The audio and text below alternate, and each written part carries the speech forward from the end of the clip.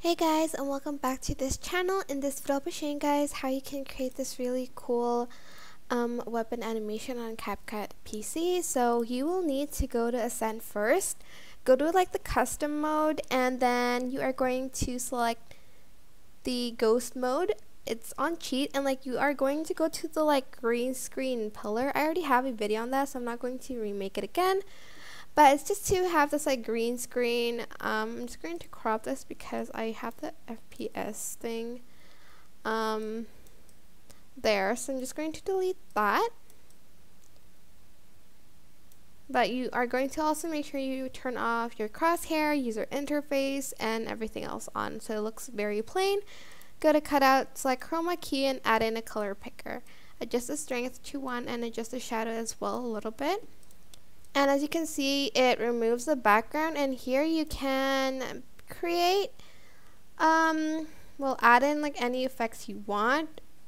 Feel like it's pretty cool. Like this edge glow you can add you can also adjust like the glow here as well.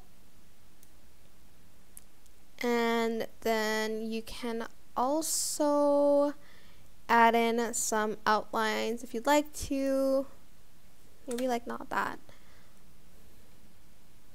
I'm just going to copy and paste and see if we can create an effect.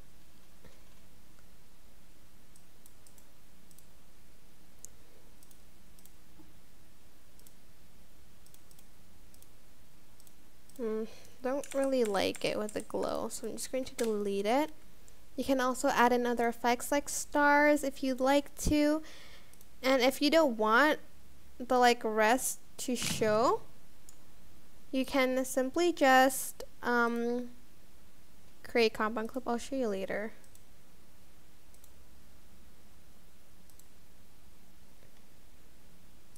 Hold on, let me just select. Okay, maybe like this one is cute.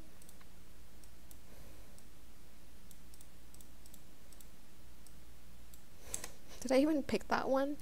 Oh no, it's the color edge, sorry.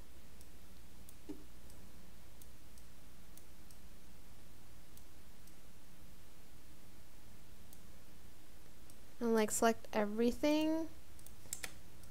then right click create compound clip. But it's going to turn a little bit like weirder. But here you can like add in like any background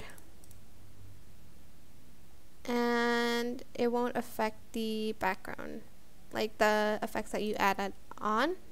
Let me just show you as an example. It looks kind of funny right now but that's basically it really. I hope this tutorial was helpful for you guys. Don't forget to like comment share and also subscribe to this channel if you haven't done that already.